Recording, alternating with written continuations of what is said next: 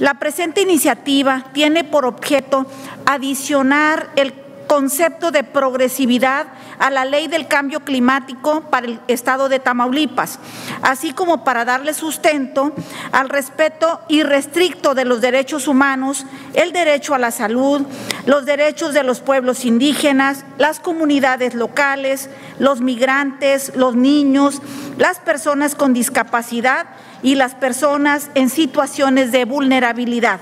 y el derecho al desarrollo, así como la igualdad de género, el empoderamiento de la mujer y la equidad intergeneracional en frecuencia normativa con la Ley General de Cambio Climático, a fin de garantizar una evolución positiva de las acciones encaminadas a prevenir y combatir el cambio climático, contribuyendo así a una mejor protección del medio ambiente y del equilibrio